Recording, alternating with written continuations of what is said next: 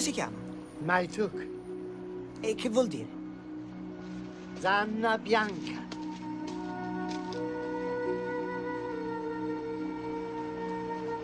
Come va, Maituk?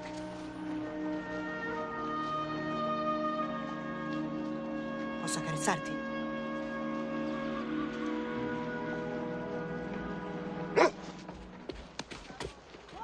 No, Volevo accarezzarlo. Cani per lavoro. Forse lavorerebbero meglio dandogli un po' d'amicizia. Accendiamo il fuoco, uccidiamo con armi. Facciamo volare le pietre. Siamo i loro dei. Ci obbediscono solo per questo e non perché siamo amici.